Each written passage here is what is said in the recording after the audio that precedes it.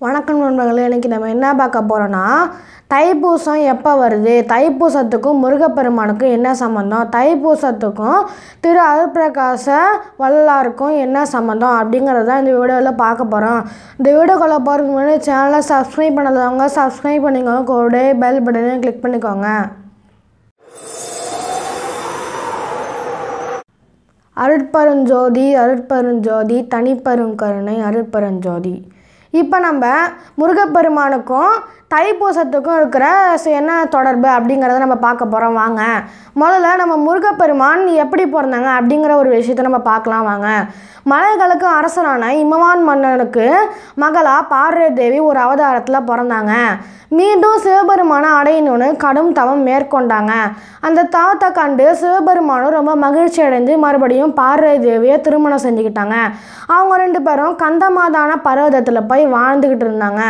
அங்கே போனோடனே சிவபெருமானும் கடும் தவத்தை மேற்கொள்ள ஆரம்பிச்சிட்டாங்க. சிவபெருமானுக்கு அவங்க தவம் செஞ்சுக்கிட்டு இருக்கும்போது பார்வை தேவி சேவைகள் செஞ்சுக்கிட்டு வந்தாங்க. அவங்க சிவபெருமானுக்கு செய்கிற சேவைகளை தன்னோட பக்தியாக நினச்சி சேவைகள் செஞ்சுட்டு வந்தாங்க.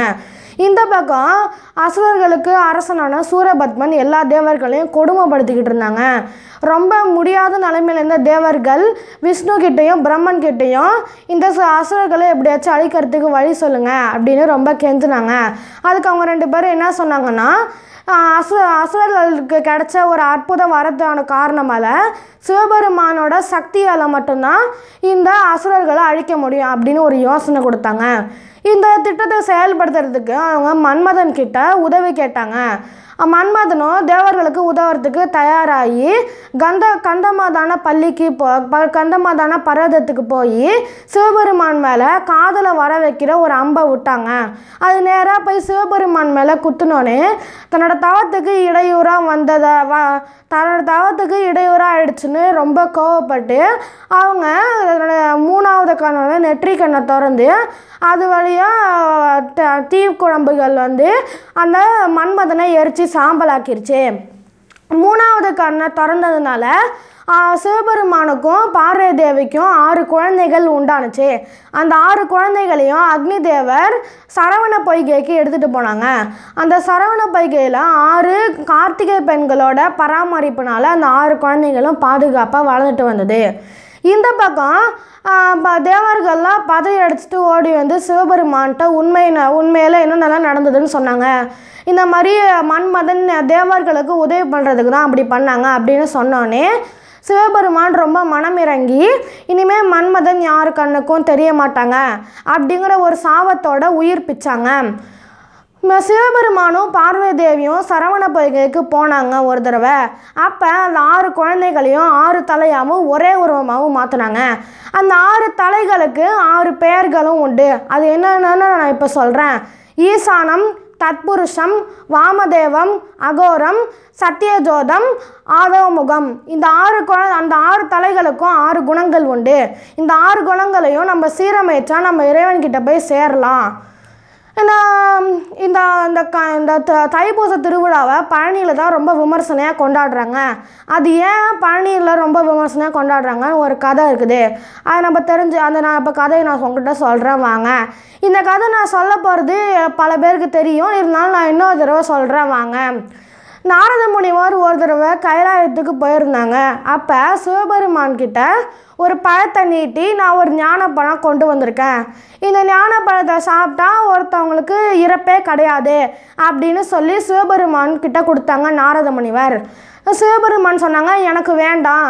என்னோடய மனைவியான பார்வதி தேவிக்கு கொடுங்க அப்படின்னு சொன்னாங்க. பார்வதி தேவிக்கிட்ட நாரத முனிவர் கொடுக்கும்போது பார்வதி தேவி சொன்னாங்க எனக்கு வேண்டாம். என்னோட குழந்தைங்களுக்கு கொடுங்க அப்படின்னு சொன்னாங்க. நாரத முனிவருக்கு ஒரே குழப்பமாகி போச்சு. ஏன்னா பிள்ளையார் எனக்கு தான் வேணும் எனக்கு தான் வேணும் பணன்றாங்க முருகப்பெருமானும் எனக்கு தான் வேணும் எனக்கு தான் வேணும்னு சண்டை போட்டுக்கிறாங்க ரெண்டு பேரும் அந்த பழத்துக்காக. இந்த சண்டையை தீக்கிறதுக்காக நாரத முனிவர் ஒரு போட்டி வச்சாங்க அவங்க ரெண்டு பேருக்கும். அது என்ன போட்டினா யார் முதல்ல இந்த உலகத்தை மூணு தடவை சுற்றி வராங்களோ அவங்களுக்கு தான் இந்த ஞானப்பழம் அப்படின்னு சொன்னாங்க. முருகப்பெருமான் என்ன பண்ணாங்கன்னா தோ சீக்கிரமாக சுற்றி வரேன்னு சொல்லி அவங்க ம மயில் வாகனத்தில் ஏறி சுற்ற ஆரம்பிச்சிட்டாங்க உலகத்தை. விநாயகர் பெருமான் என்ன பண்ணாங்கன்னா தன்னோட மூஷிக வாகனத்து மேலே ஏறி பொறுமையாக தன்னோட தாய் தந்தையரான சிவபெருமானையும் பார்வதி தேவியும் மூணு தடவை சுற்றி வந்தாங்க. சுற்றி வந்ததுக்கப்புறம் பார்வதி தேவியும் சிவபெருமானும் விநாயகர்கிட்ட கேட்குறாங்க என்னப்பா உலகத்தை மூணு தடவை சுற்றி வர சொன்னால் எங்களை மூணு தடவை சுற்றி வரியே? அப்படின்னு கேட்டாங்க. அதுக்கு விநாயகர் சொன்னாங்க உலகம்னா என்ன? ஒருவருக்கு தன்னோட தாய் தந்தையர் தான் தன்னோட உலகம் அப்படின்னு சொன்னாங்க. பிள்ளையரோட இந்த அறிவை கண்டு நாரத முனிவரும் அவங்களுக்கு ஞானப்பழத்தை கொடுத்தாங்க. முருகப்பெருமான் சு உலகத்தை மூணு தடவை சுற்றி முடிச்சுட்டு வந்து பார்க்குறாங்க. பிள்ளையார் கையில் அந்த ஞானப்பழம் இருக்குது இதை பார்த்தோன்னே ரொம்ப கோபம் அடைஞ்சு ஒரு மலையில் போய் ஆண்டி கோலத்தில் நின்றுட்டாங்க அவங்கள சமாதானப்படுத்துறதுக்காக சிவபெருமான் பழனி அப்பான்னு சொல்லி அவங்கள சமாதானப்படுத்தினாங்க.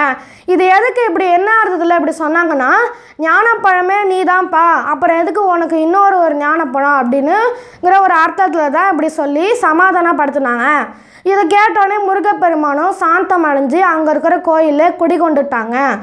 இந்த காவடி இந்த கா தைப்பூசத்தன்னைக்கு பக்தர்கள்லாம் வேண்டுதல் வேண்டி முருகப்பெருமானை நினச்சி காவடி எடுப்பாங்க. இந்த காவடி எடுக்கிற கதை எப்படி வந்துச்சுன்னு நான் நான் இந்த காவடி எடுக்கிறது எப்படி வந்துச்சுன்னு ஒரு கதை இருக்குது அதை நம்ம இப்போ தெரிஞ்சுக்கலாம் வாங்க. இடும்பன்னு ஒரு அரக்கன்னா நம்ம எல்லாருக்குமே தெரியும்.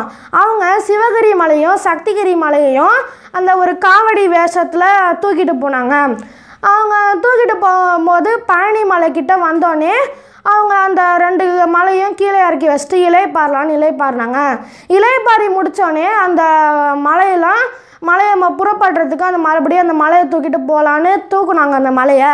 ஆனால் ரொம்ப வெயிட்டாக இருக்குது ரொம்ப கனமாக இருக்குது என்னன்னு பார்த்தா என்னன்னு மலை உச்சி மேலே பார்த்தா ஆண்டி வேஷத்தில் ஒரு சிறுவன் நிற்கிறாங்க அந்த சிறுவனை கீழே இறங்க சொல்லி இடுமன் கட்டளை இட்டாங்க. ஆனாலும் அந்த சிறுவன் இறங்கவே இல்லை. கோபம் அடைஞ்ச இடுமன் தன்னோட சக்தியை பயன்படுத்தி அவங்க அந்த சிறுவனை கீழே இறக்க முயற்சி பண்ணாங்க. ஆனாலும் அந்த சிறுவனை கீழே இறக்கவே முடியல.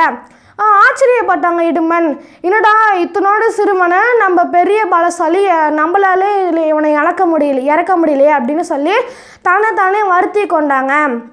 அந்த சி சிறுவனோட தன்னம்பிக்கையை பார்த்து ரெண்டு கையும் ரெண்டு கையை கூப்பி வணங்கினாங்க அந்த சிறுவனை. அந்த சிறுவன் வேறு யாரும் இல்லை நம்ம முருகப்பெருமான் தான். வணங்கினோடனே அந்த முருகப்பெருமான் அது இடும்பனுக்கு தன்னோட உண்மையான வேஷத்தில் உண்மையான உருவத்தில் காட்சி அளித்தாங்க அந்த காட்சியை பார்த்தோன்னே இடுமன் முருகப்பெருமான் கிட்ட ரெண்டு வரம் கேட்டாங்க.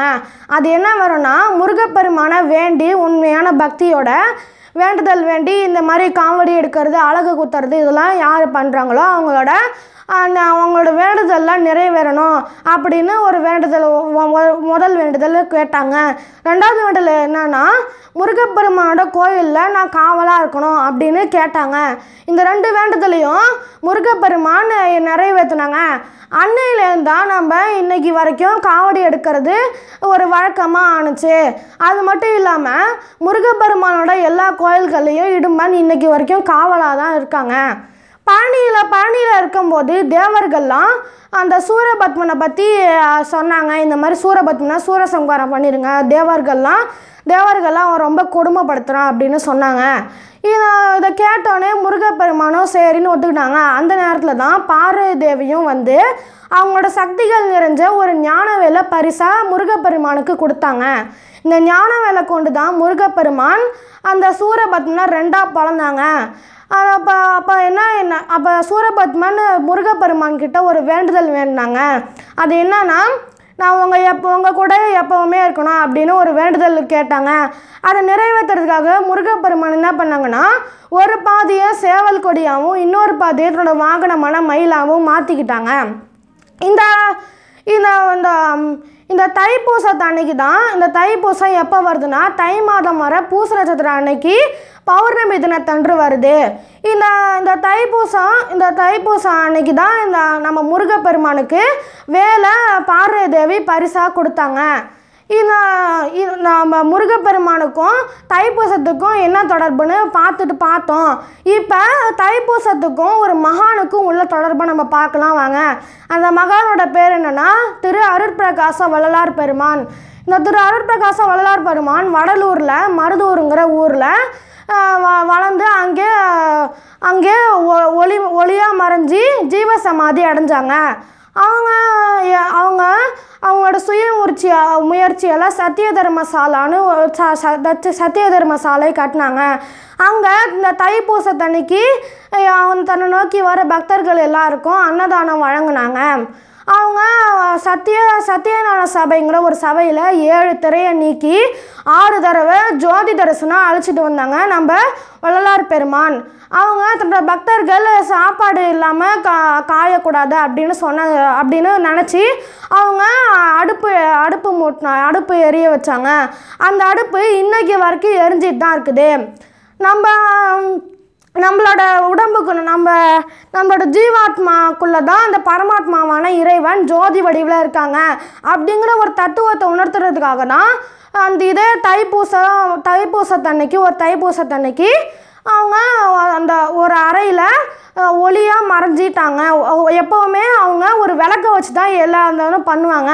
அதே மாதிரி ஒரு விளக்க வச்சு தியானம் பண்ணி அவங்க ஒளியாக மறைஞ்சு ஜீவ சமாதி அடைஞ்சிட்டாங்க. இதை தான் இதை அன்ன இன்னொரு ஒரு கொள்கையை கடைபிடிச்சாங்க. நம்ம வள்ளலார் பெருமான். அது என்னென்னா என்னது அசைவ உணவை சாப்பிடக்கூடாது அப்படிங்கிற ஒரு கொள்கையை கடைபிடிச்சிட்டு வந்தாங்க. இந்த வீடியோ பிடிச்சிருந்தா லைக் பண்ணுங்கள் ஷேர் பண்ணுங்கள் கமெண்ட் பண்ணுங்கள் மறக்காமல் சப்ஸ்கிரைப் பண்ணுங்கள் நன்றி.